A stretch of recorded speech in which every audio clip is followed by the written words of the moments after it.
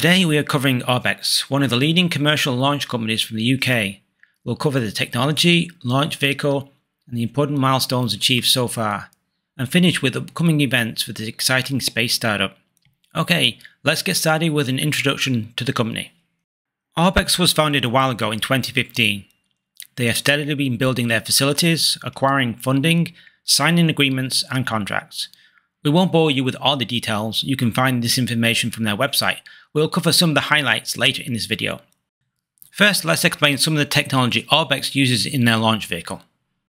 Orbex has developed one of the most advanced, low-carbon, high-performance micro-launch vehicles in the world, Orbex Prime. The main structure of the Prime launch vehicle are made from carbon fibre, which delivers enormous strength with very low mass, a crucial factor when building a micro-launcher.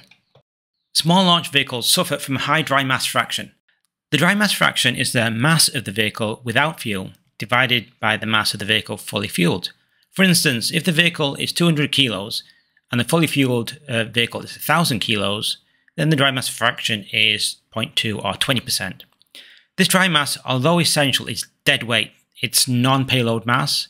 The customer only cares about payload to orbit, so rocket designers try to minimize this dry mass as much as possible.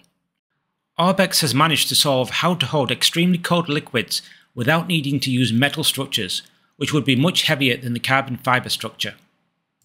Orbex makes the carbon fibre structures in-house and have invested heavily in the machines and tools necessary to make these lightweight structures. Today, they make the main fuel tanks, inner stages, avionics platforms and nose cone inside the company. Next, let's talk about their orbital launch vehicle, Orbex Prime. The Orbex Prime launcher offers payloads of up to 180 kilos into a sun synchronous orbit, ideal for Earth observation and remote sensing satellites. Sun synchronous orbits provide consistent lighting since they pass over the same ground at the same time each day. Let's check out some of the stats for this vehicle. The payload capacity, as mentioned previously, is up to 180 kilos. The fuel is bio-LPG or liquid propane gas from a non-fossil fuel source. The height is 19 meters, two stages, diameter is 1.45 meters, and there are seven engines. Next, let's talk about some notable facts about Orbex Prime. The use of a renewable biopropane fuel that cuts carbon emissions by 90% compared to fossil fuel hydrocarbons. A lightweight, high performance 3D printed rocket engine, uniquely manufactured in a single piece without joints. A redundant ignition system with no moving parts or electrics for an on orbit restart and circularization burn. Independent low temperature turbopumps that drive each Stage 1 engine. Designed to be reusable, when the rocket returns to Earth, what doesn't burn up harms the atmosphere will be recovered and reused. Next up, let's talk about where Orbex Prime will be launching from. Orbex home spaceport is located on the north coast of Scotland. They obtained from the government a 50 year lease to construct and operate a commercial spaceport that will launch up to 12 rockets each year. From this location, Orbex can offer high inclination LEO orbits, polar orbits, and sun synchronous orbits, with orbital inclinations of 83 degrees to 100 degrees. Next, let's briefly cover the most important milestones so far. In April 2022, more test firings of Orbex fully 3D printed engines. Orbex rocket testing program has been ongoing for five years now. This has resulted in a reliable, efficient, low carbon rocket engine for use on their launch vehicle. The engine has evolved from simple designs into a fully 3D printed engine using regenerative cooling and in-house turbopumps. In March 2023, Orbex received a patent for its unique petal fold reusable rocket technology. Orbex has successfully patented its reflight reusable rocket technology following patent approval in several European markets. The technology is uniquely suited to small rockets like Orbex Prime, since it enables recovery of the launch vehicle by repurposing existing structural features, while adding very little additional weight to the vehicle. This technology enables reusability with only a minor mass penalty, and no additional rocket propulsion emissions in the upper atmosphere during re-entry.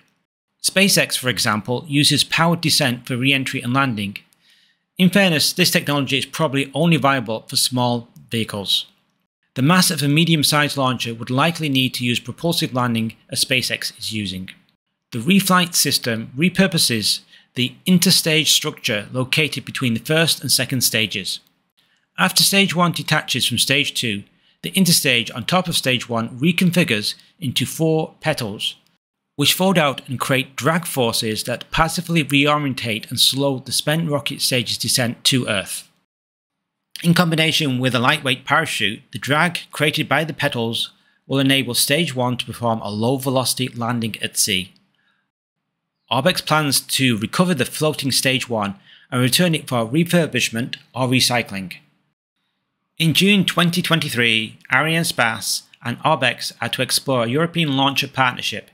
Arianespace, the European launch services provider, and Orbex announced that they have signed a memorandum of understanding to study possible future cooperation. It's expected that future collaboration would be beneficial for our customers planning small satellite constellations. Light and heavy launch vehicles could jointly support customers in deploying their initial constellations into the required orbital planes, provide precise injections of a smaller number of satellites through dedicated missions, as well as provide replenishment and replacement launches. The rationale is that constellations will have a few failing satellites that will need to be replaced. Purchasing a medium or heavy launcher for repopulation of constellation could be cost prohibitive, so using a smaller launcher, like Orbex, to replace one or two failed satellites provides a cheaper solution for customers. In May 2024, we got a progress update from Orbex on the spaceport in Sutherland, Scotland. Orbex has been steadily working on the construction of its first spaceport. They are currently working to install several watercourse crossing bridges that form part of the floating road that leads to the launch site. The bridges ensure the natural state of the water environment in the area. With the help of a Eurocopter, they completed 105 drops of concrete in a single day. The floating road on the spaceport site has also made huge progress over the last few weeks.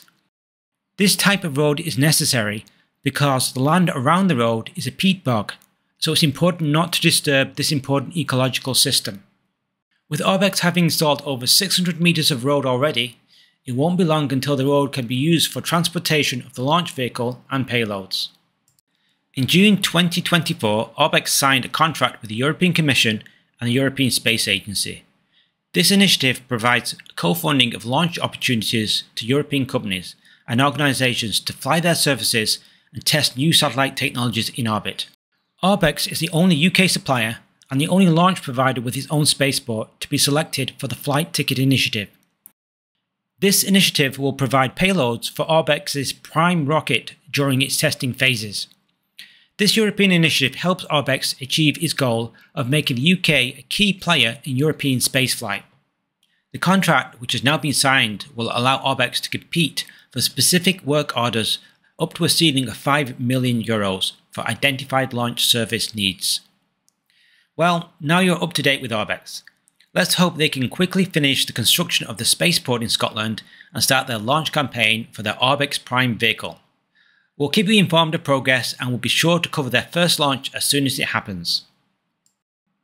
Be sure to subscribe to get the latest news on commercial space startups around the globe, from rocket launchers to space stations, orbital tugs, lunar landers and more. If it's a commercial space startup, we cover it. See you soon.